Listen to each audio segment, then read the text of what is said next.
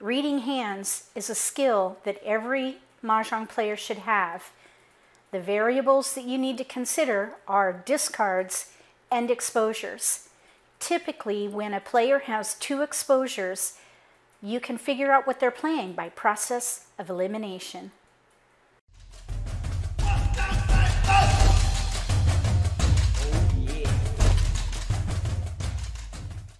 If you're new to Mahjong or if you already know how to play and just want to build your skills, consider subscribing to my channel. That way you won't miss anything. This is a game played at Mahjong time. There's a link in the video description below if you want to watch it from beginning to end. This is my hand. I have two exposures, a Pung of Eights and a Kong of White Dragons. We have two exposures for the player on my right Kong of three bams, Kong of red dragons. The player across from us has one exposure. The player to our left is concealed.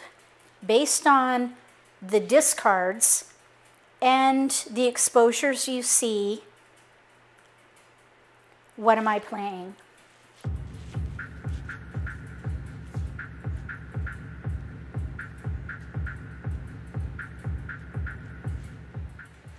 This could only be one hand.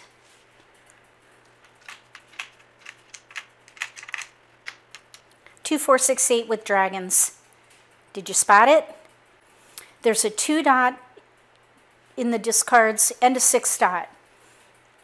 This player we know will not be using a six dot because of their exposures. This player could be using a six dot if they're playing either evens or consecutive run.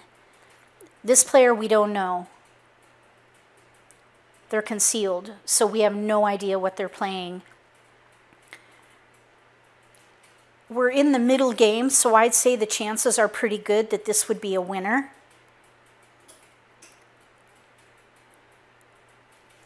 It could even maybe be pure if we draw a four dot and discard that.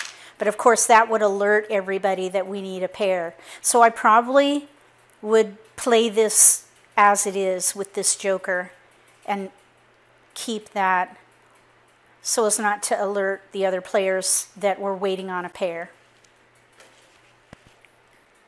While you're building your hand, look at the discards and observe other players' exposures. When a player has two exposures, you can typically tell what they're playing based on the discards and the exposures and use that information to help you make decisions about your own hand.